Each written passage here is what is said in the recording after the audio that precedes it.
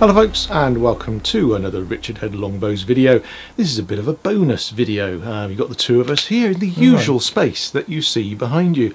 Lots of you have commented on this. Um, it isn't a graveyard of longbows, though it may look suspiciously like that. Um, no, this is just how our workshop looks after 40 odd years of making bows and arrows. Uh, we seem to have accumulated uh, one or two, and a few of you have been asking, what are they? Why are they there? These are all questions I have asked over the years because, believe it or not, there's actually We've stock no behind idea. here. There's cupboards behind here with yeah. things in. You can't get to. That, yeah. We don't, um, don't know what's in them either. No, I don't actually. something important. So, uh, yeah, so I'm going to ask him to go through these uh, and throw the ones away. No, I won't make you do that. Um, and let you know what some of these are. And uh, yeah, maybe we will be able to do something with them eventually. So thank you for those people who've been asking what the hell this stuff is. Um, so yeah, I'm going to leap behind the camera and Richard can run you through what's here. Right. Okay. uh, right, the first one here, let's have a look. It's 47 pounds of 26 inches, bamboo back, a yew core and a lemonwood belly, green leather handle, gold leaf trim, leather trim top and bottom, mother of pearl arrow plate set in. Uh, so that's that one. Next one is a self yew bow little bit of uh, undulation in the sapwood. I think that's probably a lady's. £30 at 25 inches. There's an arrow plate both sides. I think maybe the person changed from right to left handed and we put an arrow plate in. But uh, So that's uh, Oregon yew I think. Next one is one that I've been shooting for field shooting. That's well, fairly light 45 at 26, but if you're field shooting in the woods, you don't need any more than that. Again, Oregon yew, uh, mother pearl arrow plate. That looks like some of the mother pearl that came off the uh, Queen Mary when they were fitting it out, and we managed to get hold of some of that uh, uh mother pearl from an old gentleman that was involved in that. Uh, green leather handle. Again, gold leaf trim, top and bottom not too long bow because I've got a fairly short draw length so not that long. Obviously uh, horn water buffalo horn nocks on the end. Next one is hickory and lemonwood that's 50 at 29 we've had that one for a long time. As you can see it's taken a set. Hasn't actually affected the draw weight of it. It's one we tend to use for people to draw up if we're checking their draw length, what sort of draw weight they can they can manage. Um, it was originally a left-handed bow, so the arrow plate's on the other side. We've never bothered to put one over here because it doesn't get used other than drawing up or shooting the odd arrow into the target. What's that one? That's a was a lady's bow, 28 at 24. Bamboo back, uh, something in there could be lemon wood. Not sure what we've put in there actually. Could be Pernambuco and a lemonwood belly. Next one is one that my wife has been using as she's getting uh, a little bit weaker. This is a 30 pound at 25 so ladies bow. Uh, we had some different braids so we put that on the handle again mother of pearl arrow plate looks like that from the Queen Mary.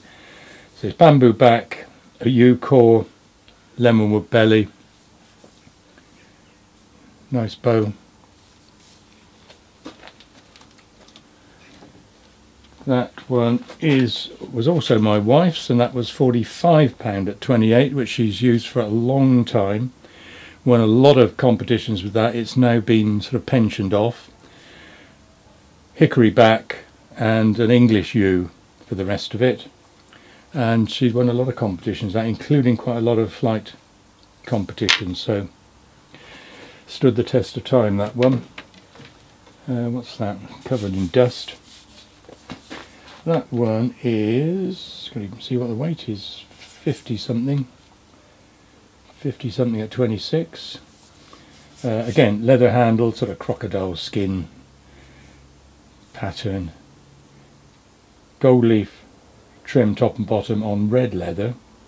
Arrow plate, we've done a little bit more fancy work around it. Uh, bamboo back, uh, looks like a, probably a layer of lemon wood layer of purple heart, looks like some Pernambuco in there, and a couple of layers actually of lemon wood on the belly. So that's um, quite a nice, nice bow. God, there's hundreds of them here. There is. I didn't know so many. Too many. What are we doing with them all? Don't know. This one's 48 25. Don't even know who this is. This might be what oh, it might be one I've been using, perhaps.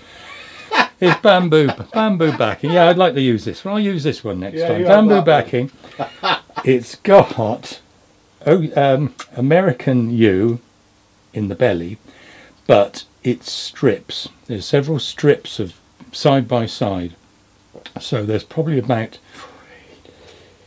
a dozen pieces of wood in this bow. So they've got th- thin strips of of yew side by side and then plane down and then put in the the belly. Don't ask me why I did it. I think it just um, uh, helps to use some smaller pieces of wood, um, but like a lot of the, I don't know whether they do it now, but a lot of the recurve bows, used to have very thin strips um, of um, wood between the layers of fiberglass uh, to stop it stop it twisting really. So and, and give it that extra strength and spring. So that I did that with that one.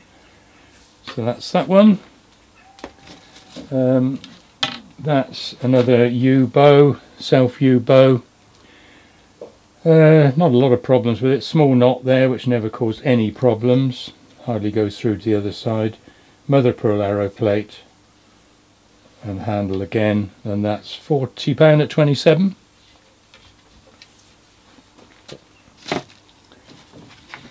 Another basic um, hickory lemonwood bow. Nothing fancy about that. Again, a lightweight bow, 25 at 28. I think we've used that for have a goes for the public. So a lightweight bow that can be drawn quite a long way back, no problems. That isn't a bow at all. Uh, it's one we've used for demonstrations when we've been demonstrating bow making. I removed the most of the sapwood on this because it wasn't very good, and I followed the undulations of the, the wood, and I then glued a very thin layer of hickory to the back of it, and then followed those undulations with clamps to clamp it all in. Uh, there I've shown how to put in a Dutchman's plug. So we've just used that as a, a demo piece for uh, demonstrations. That is going to be a self-yew bow I ever get round to finishing it, covered with dust. Uh, there was obviously problems with the wood and I have had to cut out a bloom there and a matching one the other end. Eventually I'll glue in two pieces of yew into there and then we'll we'll finish it off. But otherwise it's a, a perfect piece of wood. But a couple of flaws in it which you only come across when you've actually started making the bow. Uh, that's pair of billets which we've jointed in the handle. Probably can't see the joint very well. I don't know whether you can or not. You can certainly see it there. Uh, again, that um, that will make a bow somewhere. That one is an old Victorian bow and doesn't seem to be a maker's name on that. It could be uh, Buchanan or someone like that. But it's an old an old bow, sort of a plush handle, self yew, obviously. Uh, horn nocks. Probably early early 1800s, could be 200 years old by now. That one is a bow by Fair, who was a maker in the city of Bath, and we've actually done a video showing this bow and about Fair, who also made uh, toys and games uh, and that sort of thing. So we've done a video about that one. Uh, again, a demo bow just showing a piece of yew and the undulations you get in it and marking on the belly following those undulations in the wood. And then I would use an axe to get down to that line. And then a draw knife spoke shave before we make it into a bow. But again I've just kept that as a demonstration piece. Uh, that's just a piece of wood. That's an old old Slazenger flat bow handle's coming apart that's just that's just a bit of black tape on there um, yeah, I don't know who made that one. That said Lindop. Let me see. Lindop. Oh, yeah. So it's not Slazenger, that's Mr. Lindop, whoever he was. That's probably the only one in existence. Better keep that. Uh, oh, another another blooming piece of you. Uh, you can probably see the joint a bit more clearly there. Pair of billets jointed up, ready to be made. Some went into a bow. Might end up selling some of this stuff. I'll never get round to it. Uh, another old bow. That is made by Muir of Edinburgh. And again, he was one of the top makers of longbows. Round that way you can see the, the name. Uh, Muir, Edinburgh. He was one of the top makers and made them for the Royal Company of Archers, uh, again arrow plate, plush handle, ladies bow that one.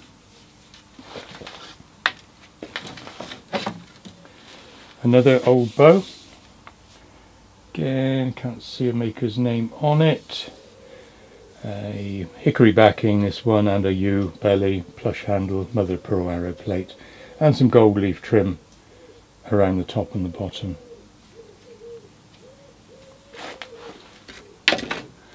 Uh, that's one I've been using for target shooting. I've got a rubber band on there, which you are allowed. Sophisticated sight. Uh, that's 47 at 26. Uh, bamboo back.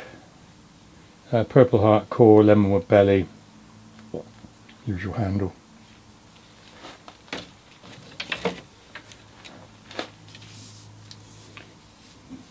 Oh, that looks particularly horrible. I don't know where that came from. It's falling. Oh, it's, it's a broken bow. Don't show that anyone. It was a very old, old bow. It had lasted a long time before it started to give up the ghost, as you can see by the, the state of the handle. And that had a piece of uh, abalone set in as a arrow plate. That was hickory, uh, purple heart I think, and uh, lemonwood. Eventually gave up the ghost, as they all do. That one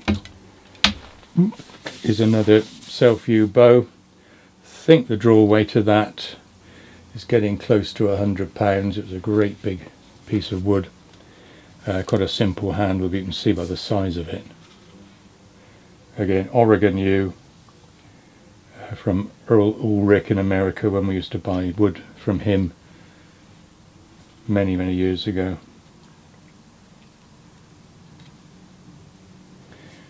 maybe whittle that down to usable weight you know.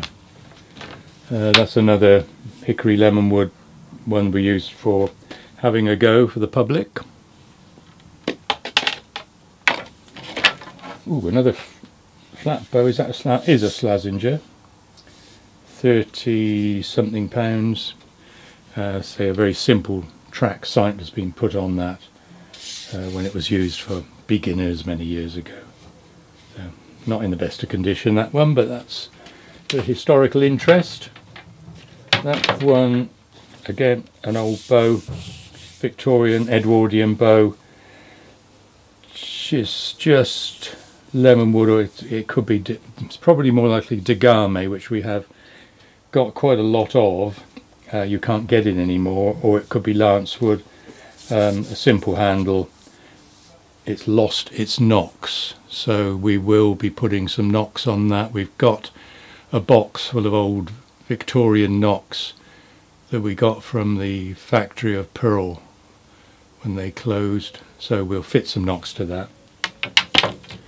Uh, oh that's another one in the same condition that's got a maker's name on it um, and that's uh, Ayres, FH Ayres London. So we'll put some nocks on that one as well. Oh, something secret here in a bag. What's this one? Oh that's a, a simple reenactment bow which is just sitting there waiting for a customer I think. Whoever wants one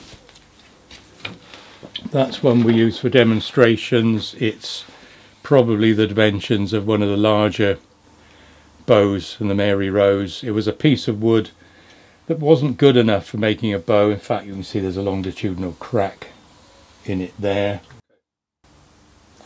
Uh, it's also got a got a twist in it. Uh, maybe if it had been pared down a bit, could have made a bow. But we've used that again as a demonstration, just to so, show the size of a bow that um, may well have been used in in battle if you were particularly strong. We don't think everyone for a minute all used 180 pound longbows. I'm sure they didn't, as people today don't. Uh, what's that? Oh, it's another old bow.